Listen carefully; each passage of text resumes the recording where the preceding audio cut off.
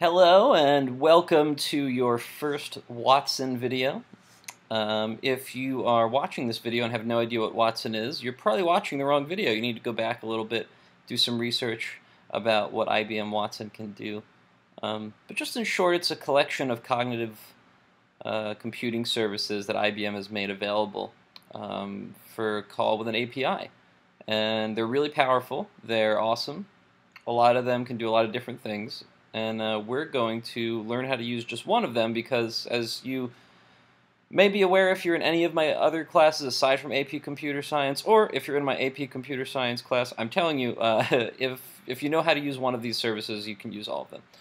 Um, so we're going to focus on the Alchemy language service. Um, Alchemy language basically allows you to load in text samples, so uh, let's just get a random block of text let's just say, well, I'm going to do this in the lens of I want to create a tool that will allow people to compare student responses with an exemplar response, hopefully preparing a tool to automatically grade free response questions to save teachers immense amounts of time. So let's just put in a sample response to a question.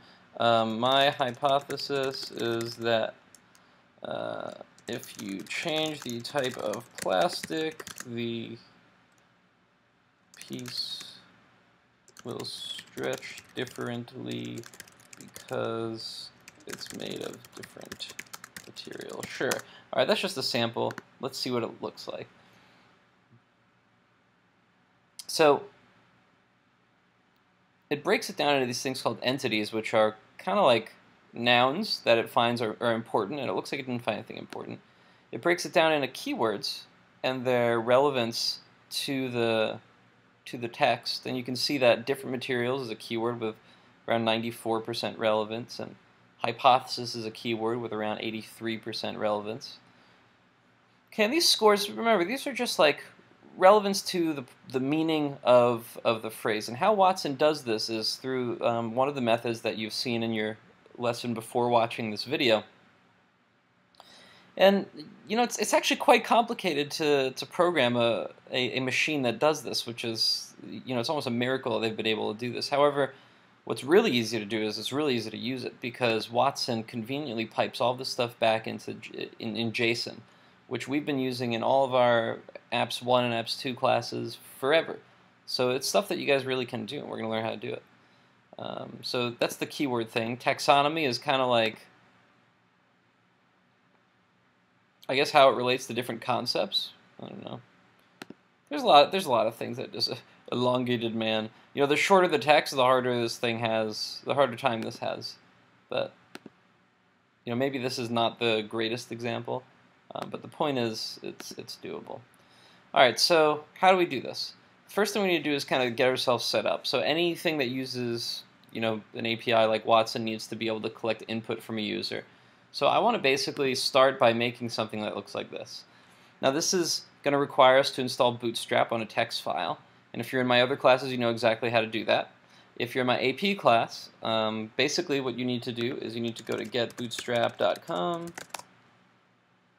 You need to download Bootstrap. So when you download it, you're going to get this. It's a zip file. You undo the zip file. All right, so there's there's all of Bootstrap's components right here. We're going to need all of them. And uh, what we need to do is make a new folder for our project. So I've done Watson example, which I now have to delete everything out of. Bye-bye. And you can take all of the Bootstrap files that you just downloaded, and you can just drag them into that folder you made on your desktop. Right there. Right, we also need what's called a starter template, which is just kind of like a place to put Bootstrap. And again, I'm not going to go into the nitty gritty of how Bootstrap works because, uh, well, it's kind of beyond the scope of, of your class right now. You don't really need to worry about it. Um, but many of you already know how it works, and you should learn it. It's it's great. You can look at some of my other videos on how to how to work with Bootstrap. But uh, anyway, we'll go to getting started and we're going to get this basic template right here. And this actually doesn't have a nav bar, which we might want, so maybe we'll just do this. inspect there, starter template. You actually just copy the entire thing. And we'll make a new file. We'll paste what we just got, and we'll save it into the Watson folder that we just made. And we'll call it index.html. Alright, so if you see they've got like these references to Bootstrap stuff, just get rid of the leading things. It should just be like CSS slash. This too, just JS slash, just like that. If you're not aware, those are relative links to files that are, have a different structure on your program now since you kind of custom made it. So anyway, it's not important. Alright, so if you open it up, you'll see a blank little template. Um, to change where that navbar is sitting, you can change it to be a navbar dash static dash top.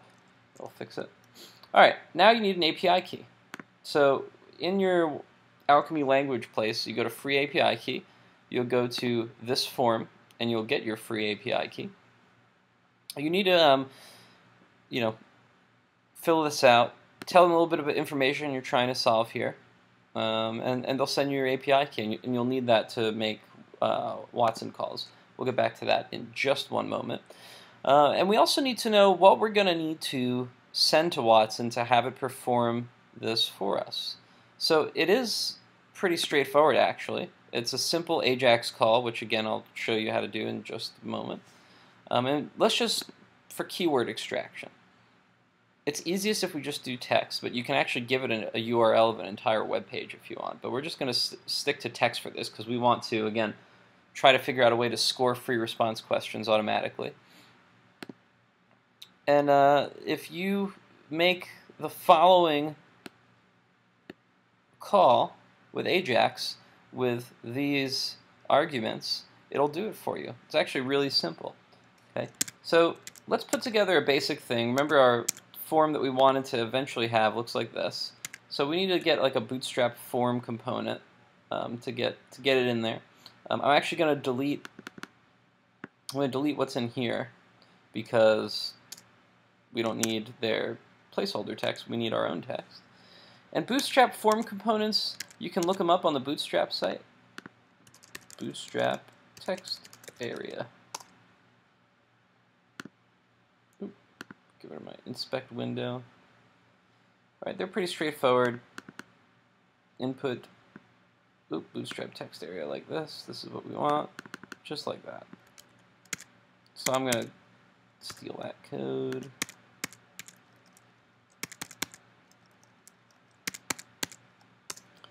All right, and this is label for, we're going to change this to, we'll say exemplar. And we'll say exemplar. And we'll say submit your exemplar response.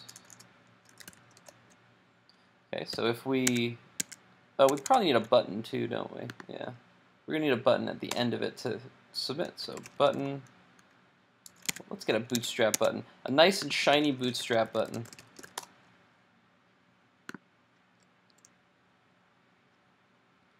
Right there. Look at that thing. There you go. I'm going a little fast here again because um, this is stuff that we need to, you know, some some people watching this video already know where to find all this stuff. Um, you know, so if you're, if you're using Bootstrap for the first time, I'm sorry this is a little bit fast for you, but there's a lot more documentation on our YouTube channel in the quarter one playlist um, that describes a lot about how to do all this bootstrap stuff. So if it's a little bit overwhelming because of the speed, sorry. Um, and you might want to just go back and check out some of those videos. Anyway, let's see what this looks like. We got a response, and we got a button that says primary. That's not right. We want to say submit. But other than that, looking good. Great. All right, now we need to do some JavaScript. So let's make a new file.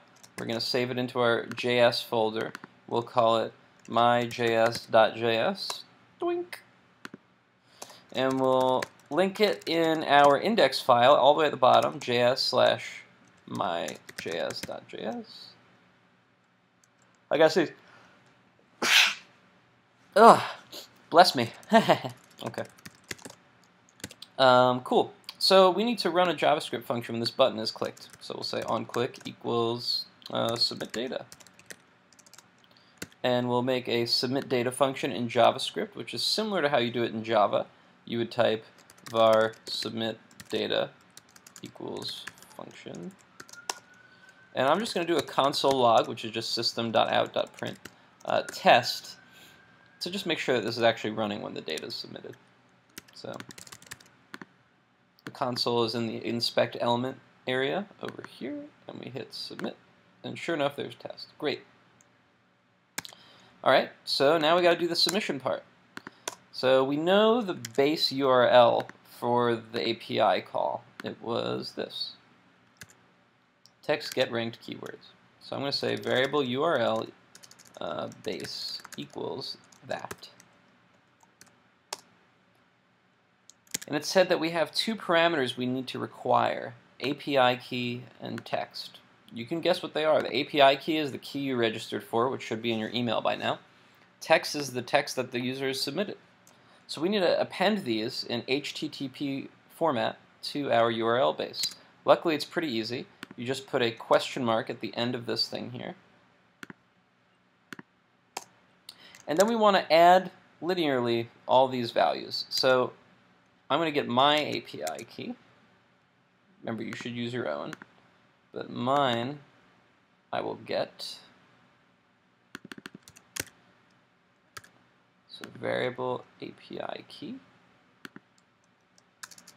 And we can build the URL like so. URL base equals URL base plus we want to say in the exact match of the argument that they list here, so lowercase API key, we want to see API key equals, we want to add on to that our value.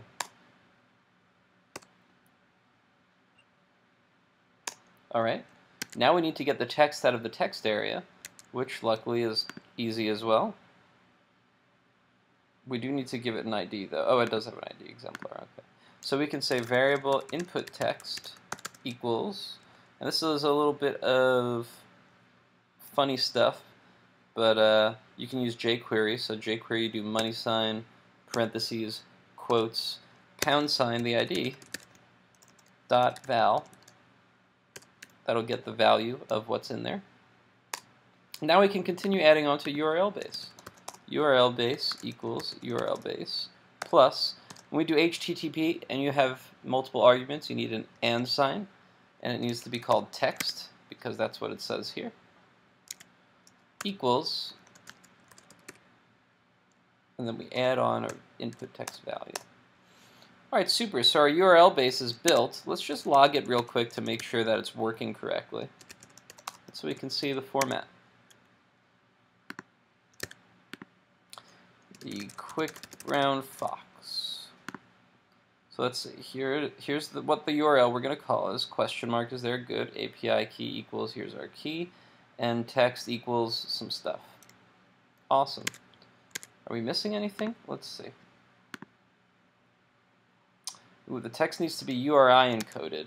So we do need to do a little bit of an extra step there. I forgot exactly how I did that. Uh, right here, encode URI component. So we do need to just encode you URI component, which is a baked-in JavaScript function. Let's just run it one more time to make sure that worked.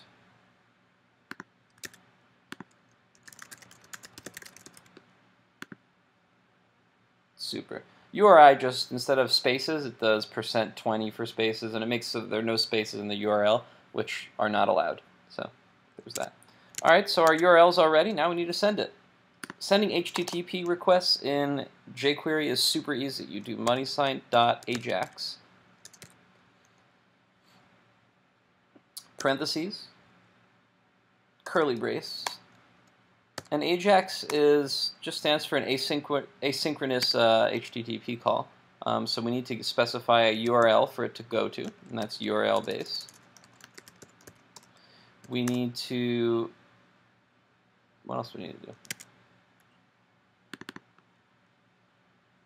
Oh, we need to tell it it's a, yeah. We need to tell it it's a post function. So type post. There are a couple types of HTTP requests. Post is one. Get is another. Uh, there's a few others. Those are the most popular. Set. Oh. Anyway, we need to also finally tell it what to do with the return object uh, once Watson does his magic. So we're going to say success. We're just going to assume we're successful here. Um, you can assume that. It's okay. You guys are pretty successful. Uh, we're going to say console.log data. Data is what gets sent back from wherever you're making the AJAX call. So AJAX is like sending information somewhere else, and this callback function is what happens when that information comes back. So theoretically, this should show us something. Let's try it. Submit your exemplar response. Ooh, here's one that'll drive bio teachers cra crazy. The mitochondria is the powerhouse of the cell. All right, let's see what it gives us. Gives us this little thing. What's that? Hmm, this is interesting. Oh, you know what? It's in a uh, it's in XML format. I think we can change that to JSON. Let's see. Oh, output mode. Yeah, we don't want XML. We want JSON. So we also we just have to add that onto URL base at the end here. So URL base equals and out equals URL base plus and output mode. Ooh, capital M for mode equals JSON. Okay, because we want it in JSON format. One last try.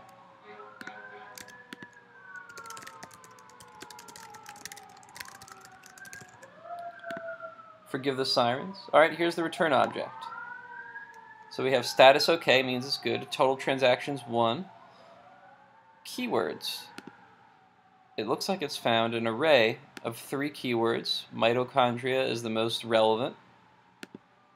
Powerhouse is the second most relevant. An object, or cell, is the third most relevant. So can you see how this is like a textual representation of their demonstration over here. We're getting this information in text into our own application, which you can now put anywhere you want. That's pretty magical. You now have the ability to use any of Watson's APIs, just this same exact way.